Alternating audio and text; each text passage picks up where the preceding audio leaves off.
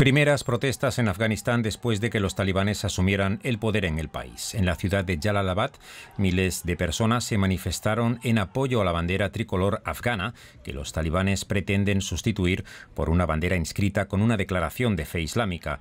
Al menos tres personas murieron y docenas resultaron heridas después de que milicianos talibanes abrieron fuego contra los manifestantes.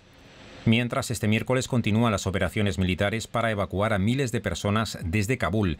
Estados Unidos, Reino Unido y Alemania, entre otros países, han establecido puentes aéreos para sacar del país a diplomáticos y a numerosos afganos que cooperaron en misiones internacionales en los últimos años.